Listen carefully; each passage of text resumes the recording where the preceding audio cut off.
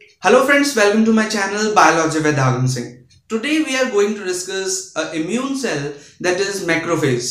कि मैक्रोफेज होते क्या है उनका इंट्रोडक्शन उनका स्ट्रक्चर उनकी प्रॉपर्टीज़ उनके फ़ंक्शन इन सभी पॉइंट्स के बारे में इस वीडियो के अंदर डिस्कस करेंगे so watch the video till end so you can understand all the properties in brief about the macrophage so without wasting time let start with the topic So we are talking about macrophage. So firstly we just have to understand what is macrophage.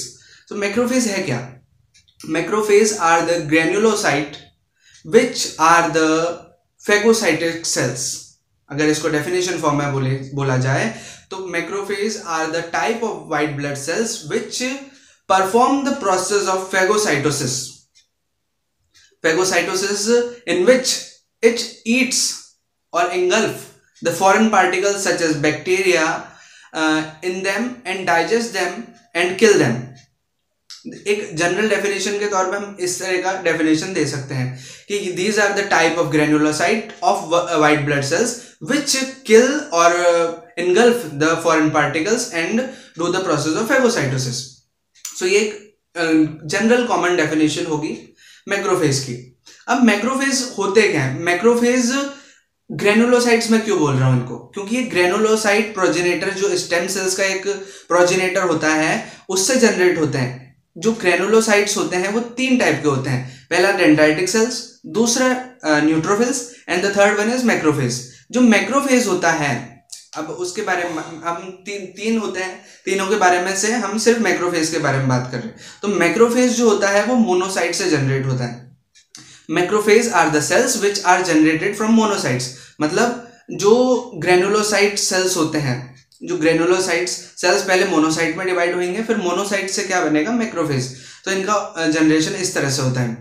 अब बात कर लेते हैं इसकी properties क्या होती हैं। सो macrophage ऐसे सेल्स होते हैं, पहली बात तो कि वो, जो कि परफॉर्म कर सकते हैं फेगोसाइटोसिस का प्रोसेस पहली चीज़ तो ये होगी।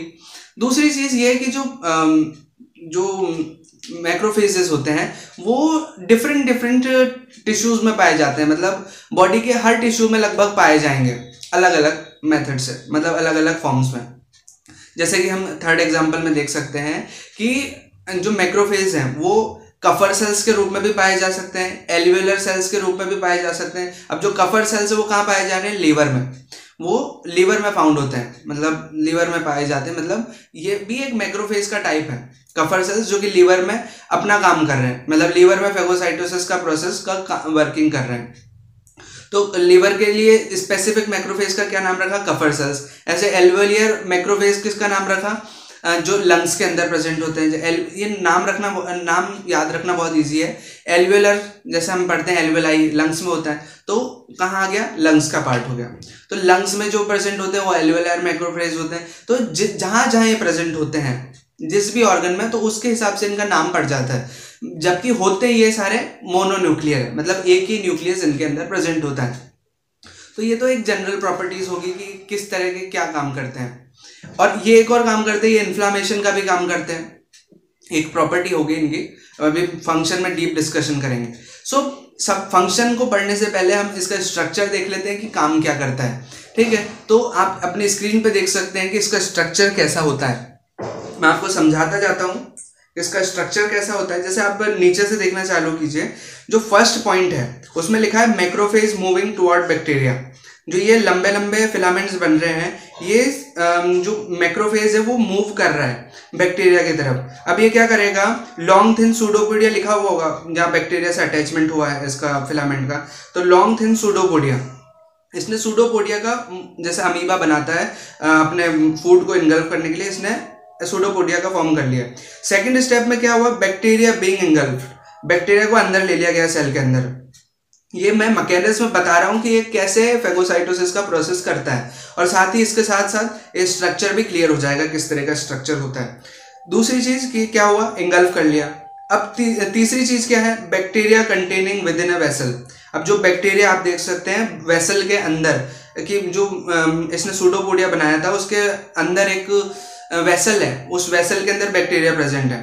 फोर्थ स्टेप में आप देख सकते हैं lysosome fusing with vessel and release phagocytic enzymes कि लाइजोसोम जो है, वो अटैच हो गए। लाइजोसोम का स्ट्रक्चर और फ़ंक्शन में पहले बता चुका हूँ कि लाइजोजोम क्या है। डाइजेस्टिव एंजाइम छोड़ते हैं। अगर आप डीप में पढ़ना चाहते हैं तो मैंने वीडियो के डिस्क्रिप्शन में उसका लिंक दे दिया है, आप पढ़ सकते हैं वहाँ से। तो फोर्थ में क्या कर रहे हैं? लाइजोजाइम्स फ्यूज हो रहे हैं वेसल के साथ। जो वेसल्स हैं, उसके साथ, जिसके अंदर बैक्टीरिया प्रेजेंट है, उसके साथ लाइजोजाइम अटैच हो रहे हैं और अपने फेगोसाइटस एक छोड़ रहे हैं। फिफ्थ स्टेप में आप देख सकते हैं bacteria being destroyed and digested जो लाइजोजाइम के एंजाइम छूटे हैं, जो फेगोसाइटिक एंजाइम छूटे उसकी वजह से बैक्टीरिया का डाइजेशन हो गया। सिक्स स्टेज में क्या देख सकते हैं आप? अनडाइजेस्टेड रिमेन ऑफ़ बैक्टीरिया अब जो अनडाइजेस्टेड रिमेन्स है मतलब जो बाकी सब तो डाइजेस्ट कर लिया बैक्टीरिया का मतलब उसको मार के उसका जो भी न्यूट्रिशन था, वो फेगोस ये मैक्रोफेज ने डाइजेस्ट कर लिया। अब जो बचा कुछ है, वो सिक्स स्टेज में दिख रहा है अनडाइजेस्टेड रिमेन ऑफ़ बैक्टीरिया ये तो एक मैकेनिज्म हुआ कि किस तरह से फेगोसाइटोसिस का प्रोसेस करता है। अब ये देख लेते हैं इनका इसका स्ट्रक्चर कैसा होता है। इसके अंदर गोल्जी ऑपरेटस होता है न्यूक्लियस न्यूक्लियोलस होता है जैसे कि आप स्क्रीन पर देख सकते हैं। न्यूक्लियस होता है माइटोकॉन्ड्रिया होता है लाइजोसोम्स होते हैं राइबोसोम्स होते हैं एंडोप्लाज्मिक रेटिकुलम होता है। मतलब सारी सेल ऑर्गेनेलिज इसके अंदर प्रेजेंट है लेकिन ओनली ये डिफरेंस इतना है कि इसके अंदर फेगोसाइटोसिस का प्रोसेस होता है। सो so, ये था एक complete discussion about the structure of macrophage अब इसके फ़ंक्शन के बारे में बात कर लीजिए, कर लेते हैं। तो फ़ंक्शन पहला क्या है? पहला तो ये क्या करता है? इन्फ्लामेशन रिएक्शंस कॉज करता है और बॉडी के अंदर फीवर लाने की प्रक्रिया ये करता है। मतलब क्या होता है? जैसे बहुत सारे पैथोजेंस बाहर से आगे, बहुत सारे बैक्टीरिया आगे। तो ये क्या करेगा? इन्फ्लामेशन कर देगा। मतलब बॉडी जलन करने लगेगी, सूज जाएगी। जैसे बाहर से किसी ने मधुमक्खी ने बाइट कर लिया तो उस जगह इन्फ्लामेशन एरिया हो जाता है। वो एरिया स्वेल हो जाता है इन्फ्लामेशन उस एरिया पे शो करता है। वैसे ही अगर कुछ ज़्यादा बैक्टीरिया अगर अंदर आ गए, ज़्यादा माइक्रो अंदर आ गए तो बॉडी का टेम्परेचर बढ़ जाता है, जिससे फीवर हो जाता है। वैसे फ़ंक्शन ही हाइपोथैलेमस का है, लेकिन हाइपोथैलेमस तक ये जो एक तरह मैसेंजर का काम कर रहा है, कि कि बॉडी का टेम्परेचर बढ़ा के उन ऑर्गेन्स को किल करने का काम ये करेगा। ये तो हुआ पहला फ़ंक्शन अब दूसरा फ़ंक्शन ये है कि ये फेगोसाइटोसिस का रोल करता है, जैसा कि मैंने आपको स्टेप से समझा दिया कि क्या मैकेनिज्म होता है। तो ये फेगोसाइटिस का फेगोसाइटोसिस या पिनोसाइटोसिस जिसके अंदर लिक्विड मटेरियल को एंगल्फ करके उसको डाइजेस्ट करने का काम होता है, वो प्रोसेस ये करता है। Third and most important property is that कि ये फेगोसाइटोसिस का प्रोसेस तो करता है, लेकिन साथ में ही ये इन्नेट इम्यूनिटी का रोल भी प्ले करता है। जैसे कि मैक्रो जैसे कि जो इम्यून सेल्स होते हैं, वो एक्चुअल में इन्नेट इम्यूनिटी का काम नहीं करते। लेकिन ये फेगोसाइटोसिस का काम स्पेसिफिक फेगोसाइटोसिस का काम भी करके, करने के साथ साथ इन्नेट इम्यूनिटी में भी पार्ट लेता है। जैसे कि हमारी बॉडी का जो नेचुरल बर्थ बर्थ से हमको इम्यूनिटी मिलती है उसी तरह की इम्यूनिटी ये भी हमको प्रोवाइड करता है। साथ ही अडेप्टिव इम्यूनिटी में ये क्या करता है? साइटोकाइंस जैसे केमिकल्स रिलीज़ करता है। वो साइटोकाइंस क्या करते हैं? जो टी सेल्स हैं या अदर जो भी सेल्स हैं वो उनको एक्टिवेट कर देता है कि बाहर से मतलब जो पार्टिकल है फॉरेन पार्टिकल आ चुका है उससे आप वॉर करने के लिए तैयार हो जाइए। सो so, ये प्रिपरेशन का भी काम करता है।